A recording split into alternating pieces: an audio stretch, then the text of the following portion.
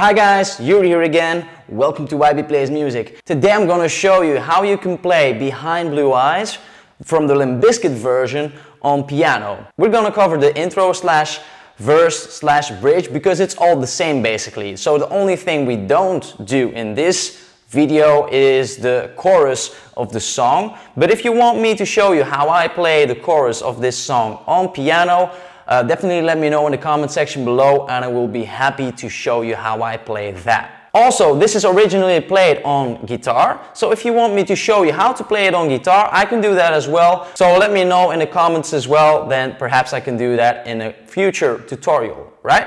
Now, how do we start with this?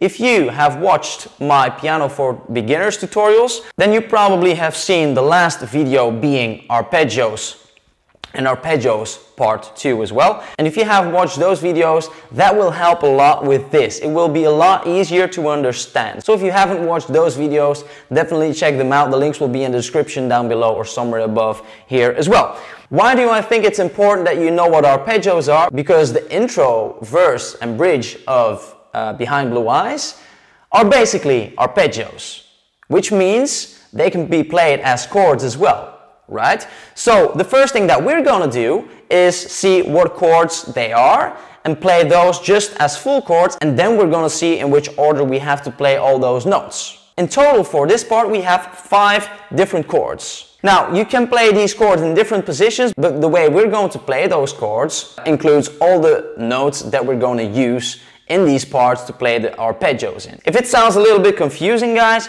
don't worry, it will be clear in a moment.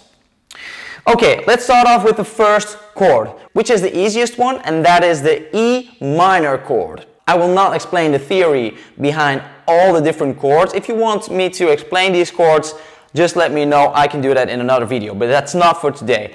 The E minor chord is the first chord, and the way we're going to play it is this. So we start with the E2, the B3, E3, G3, B4, and the E4. We play those together. That's the first chord, okay? The second chord is the G major 6, which is this one. So right here we have the G2, B3, and D3 with our left hand. Then we have the G3, the D4, and the E4 if we play those together, we have the G major 6 chord. The next chord is the D sus2, which is this one. For this we play the D3 with our left hand, the A4, the D4, and the E4, then together, that's the D sus2. Then the next one is the C add 2, which is this one.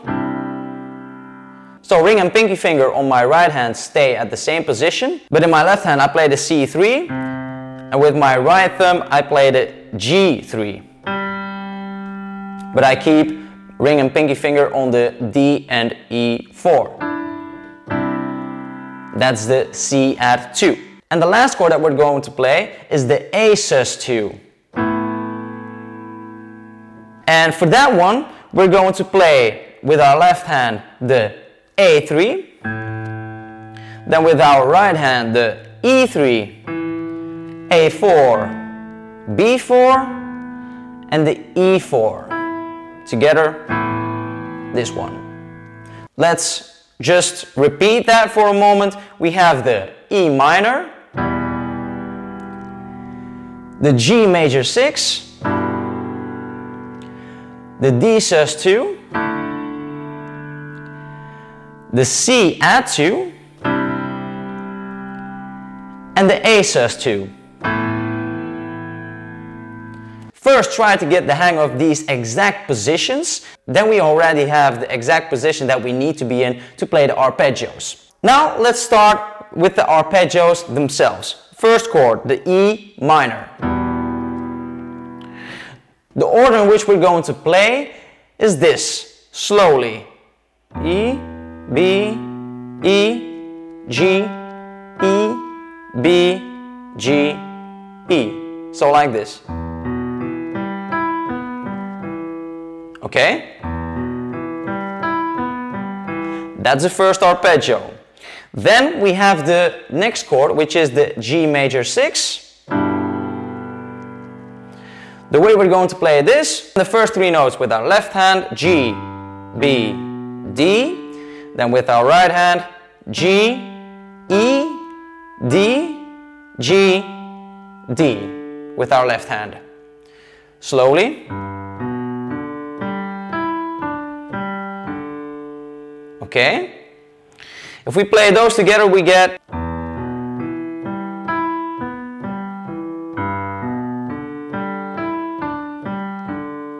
Now we go over to the D sus2 chord and we will play this arpeggio two times in a row. It's this chord.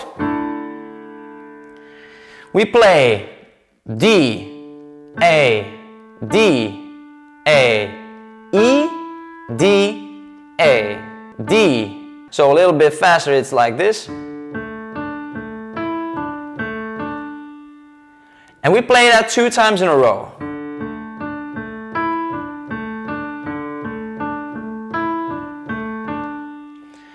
Then we go over to the C add 2 chord.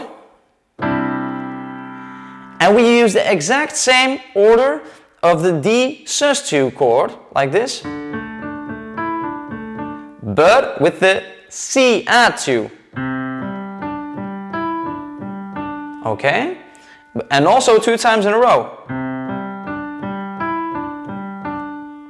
Then we add the last chord, which is the A sus2 in this position exactly, here it's a little bit different of an order. We start like this.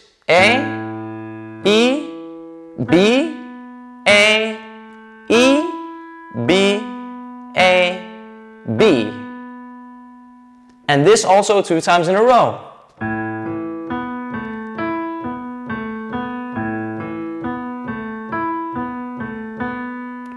And that's basically it. If we connect all these chords together, all these arpeggios together, it will sound something like this, slowly.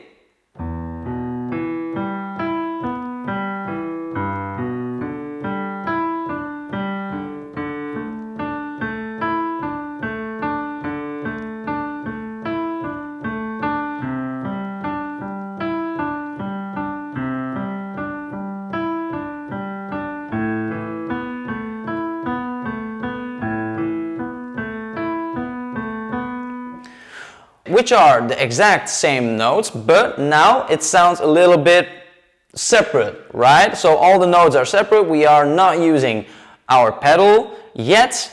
I can use this as an example for the tutorial, by the way, but there is a way that we can still make it a little more full of a sound. And the way we're going to do that is we're going to keep the keys on our left hand pushed down whilst we're playing with our right hand.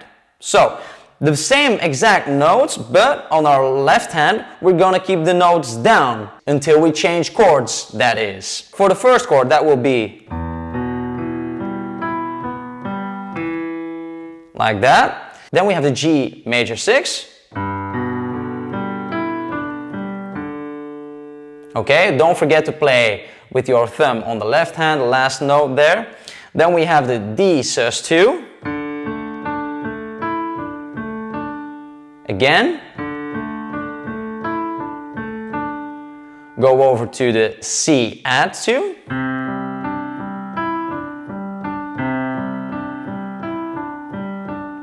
And then over to the A sus 2.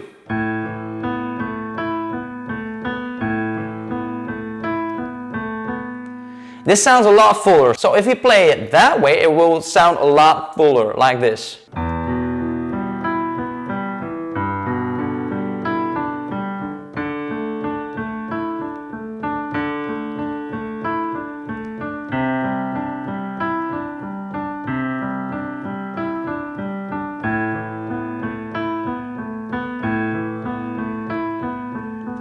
It sounds already a lot better than when we just play all the notes separately, right? But when we're using our pedal, this will be even fuller and sound more rich, let's say. So stay tuned for that tutorial. So that's basically how we play Behind Blue Eyes, or at least the Limp Bizkit version. The original isn't that different from The Who, But from Limp Bizkit, it's played like this on guitar actually. So guys, if you want me to show you how to play it on guitar, if you want me to show you how to play the chorus on piano or guitar, just let me know in the comment section down below. I will also give a tutorial on how to use your pedal to play piano and I can use this as an example as well. Guys, I hope you enjoyed this tutorial. I hope you learned something again today. Don't forget to subscribe, like and share the video. Also don't forget to check out my other tutorials. I have reaction videos and music videos for you guys to check out. So thank you very much and see you guys next time. Bye.